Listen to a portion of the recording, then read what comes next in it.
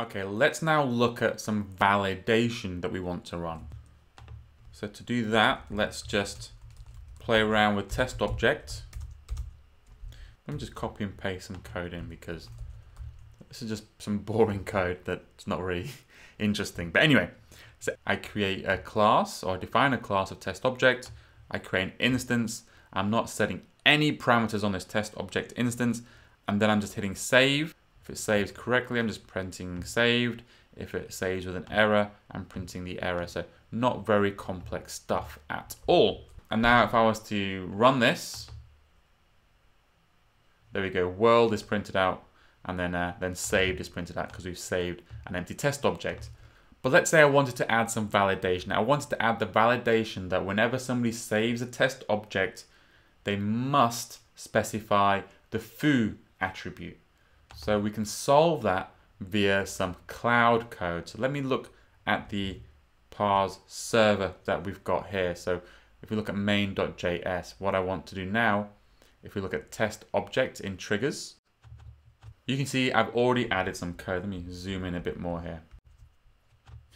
So I've added this in a folder called triggers because I want this code to trigger whenever I perform some activity on an object. So there's a couple of different triggers you can have.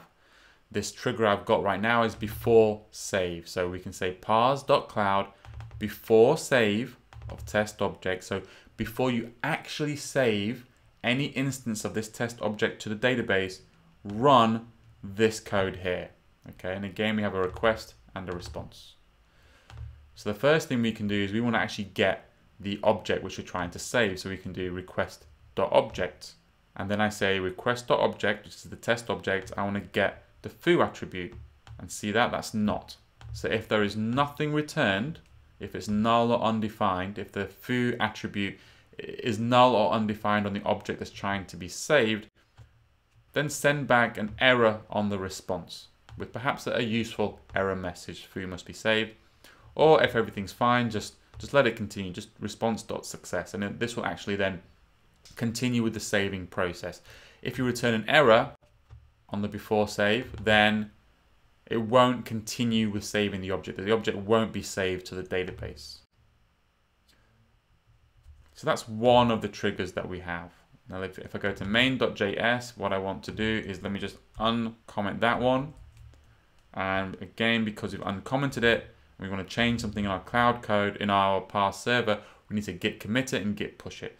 So let's go into our terminal here. Let me clear again, git add, but we don't want to add index.js. We want to add cloud main.js, then git commit.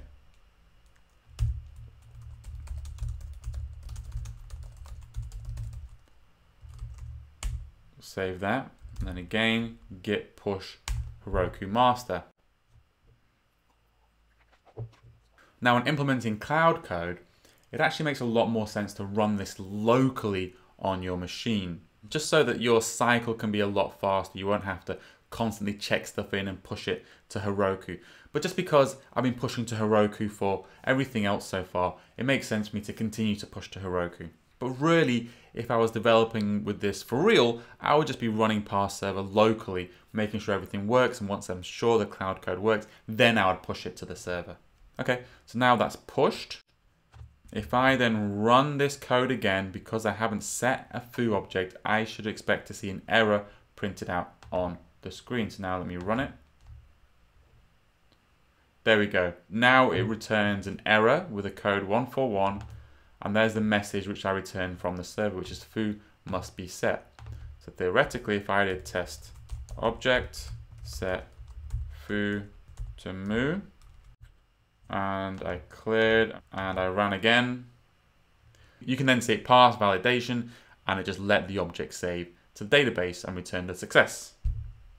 So that's how you can perform validation on the server side. It's by listening or by hooking into the before save trigger on every object out there, oh, and on every class that you want to add validation to, getting the object which you're trying to save, and just whatever functions you want to, whatever checks you want to add to this class, you can add it here in this code. If it all passes, you return a response dot success If it fails for whatever reason, you return a response.error.